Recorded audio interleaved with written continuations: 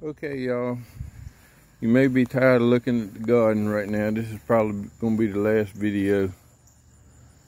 Sweet potatoes, morning glories are growing up on the compost pile. We got beans there. Tomatoes are giving back.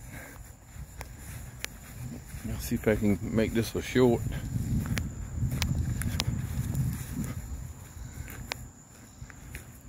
Some more crowder peas, okra, tomatoes.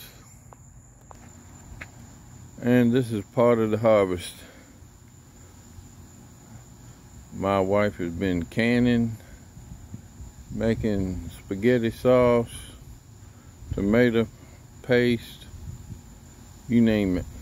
We're very thankful for it. Thanks for watching, y'all.